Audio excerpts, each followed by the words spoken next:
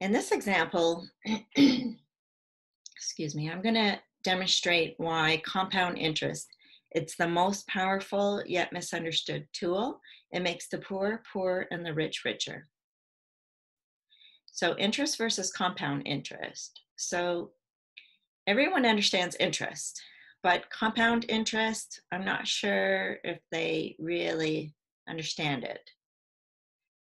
So compound interest, it's the accumulation of interest on interest, deceptively small cumulative growth. Albert Einstein called it one of the most powerful forces in the universe because I don't think you realize just how much of an effect interest on interest is. Those who understood it earned it. This is per Albert Einstein. And those who didn't understand it paid it. So I'm going to demonstrate using something called the Rule of 72. It was developed by Albert Einstein as well.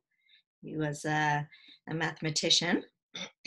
and I went to four years of university and I took finance in high school. Never heard of this before until I was at a financial presentation put on, a free financial presentation put on by a company called World Financial Group. And I was amazed when I heard this.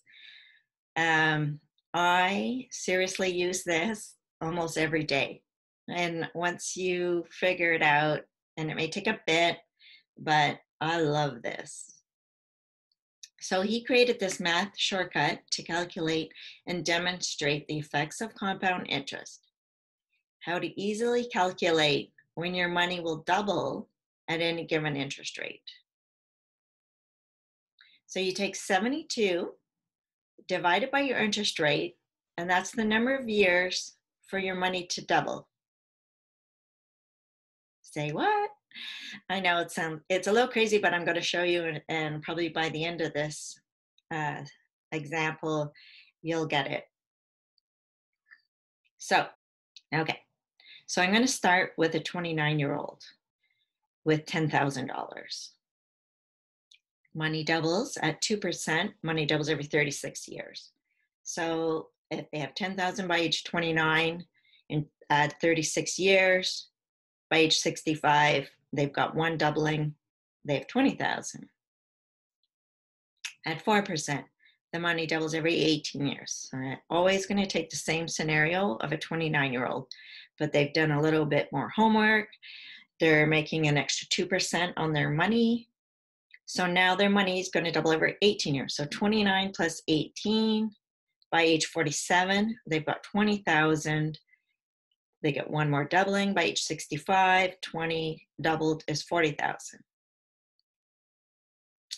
At 6%, 72 divided by 6 is 12. Their money doubles every 12 years. So if they've done even just that little bit of more homework, an extra 2%, let's show you the difference, okay? Start at age 29.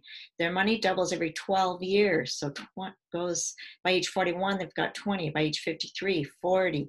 By age 65, they've got that one extra doubling. And it's always the end doublings that are the most exciting.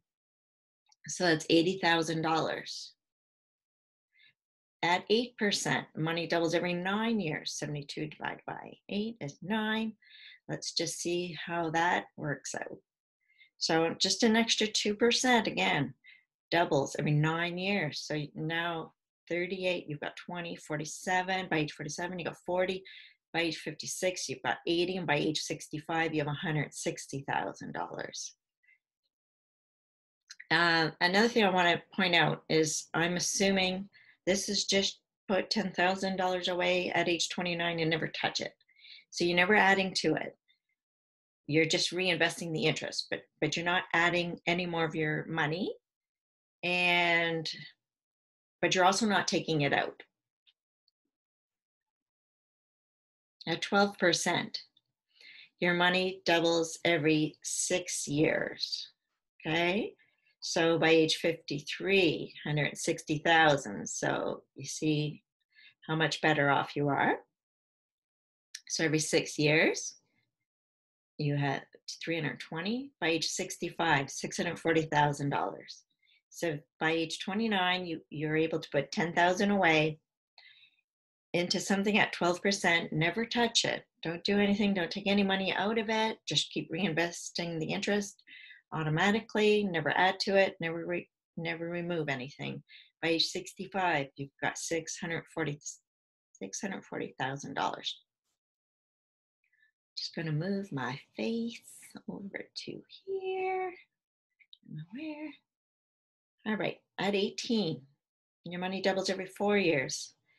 And the only reason, well, I was going to say the only reason I'm doing 18 and 24, which you'll see, is because probably every one of you right now has something that's making 18 or 24% right now. It's not making it for you though, it's making it for the bank, and that's credit cards. So I just want to show you if you have 10,000 balance on your credit cards, that money is going to the bank. Okay, so every four years, you're, the, the amount is doubling. Um, and this, so this works for interest that you're paying or interest that you're earning. So by each, every four years, your money is doubling. Like if you can make 18% on your money, that is really very exciting. Okay, 49, 320,000 by age 53, 640. And it's really exciting as you get a little bit more. By age 57, $1.2 million. So this is a 29 year old, put 10,000 away, and never touched it, 1.2 million. Okay by age 61, 2.5 million, and by age 65, $5 million. I'm just going to show you at 24% for fun. And uh, again, it's just mainly because that's where your credit card debt normally is. So the money doubles every three years. So this is the money that the bank is making off of you right now. So the same 29 year old, money is doubling every three years. By age 59, 10 million. By age 62, 20 million. By age 65, 40 million dollars. Unbelievable the effects of compound interest. Now, this is where most people's debt is right now. Okay, it's in this 8%, 12%, 18, and 24. So that would be consumer loans, credit cards, even car loans are in this area. This is where people's debt is. But most people's savings are over here. Okay, most people have got their savings in just bank accounts or mutual funds, making hardly nothing, okay? So what happens is their debt is growing faster than their savings. They're getting poorer and poorer every day. All right. So their debt is growing every day. Their debt is growing faster than their savings. So they're getting poorer and poorer without doing anything. What if all your debt was over here and all your savings was way over here?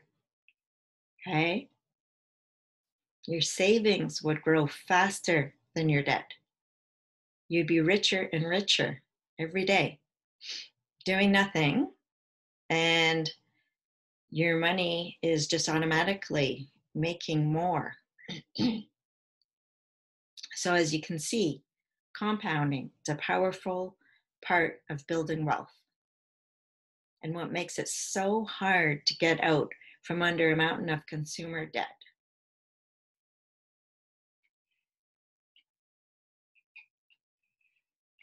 paying interest on interest. It feels like a crime. But earning interest on interest, heavenly. You get to decide do you want to earn interest on interest or do you want to pay interest on interest?